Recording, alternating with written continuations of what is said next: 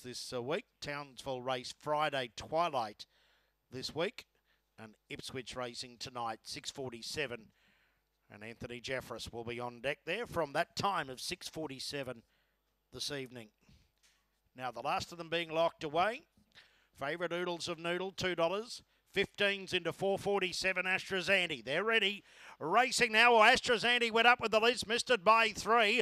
Carcay came away quickly to lead over Oodles of Noodles. Miss Beck Boo down the outside, followed then by Senor Dillon. Astrazanti making ground but out wider, and last of all, Willie Tilda coming around the bend.